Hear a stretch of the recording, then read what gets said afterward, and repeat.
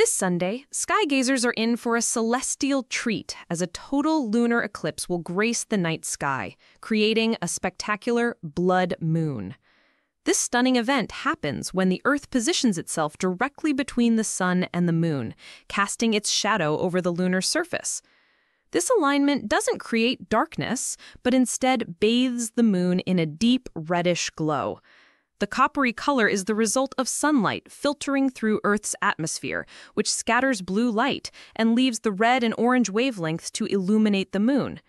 It's like projecting every sunrise and sunset on Earth onto the lunar face. For those in the UK, the spectacle begins around 7:30 p.m., with the peak of the eclipse expected at 7:33 p.m.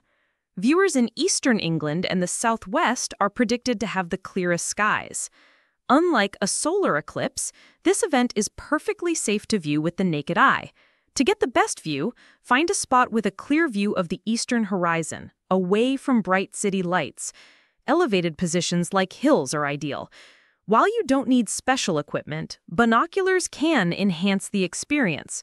This will be the last chance to see a total lunar eclipse from the UK until August 2026, so be sure to look up. Read the next story. If you liked the video, please subscribe to the channel.